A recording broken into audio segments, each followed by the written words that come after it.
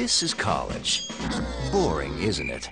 But this fall, My first kiss went a little like this. the. CW will take everything good about college pretty cheerleaders, co ed living, full contact competition, uh-huh. and bring it all together I think she forgot her pole. in a groundbreaking new show My mom was there to cheer me on.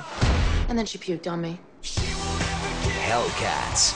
Coming this fall to the CW.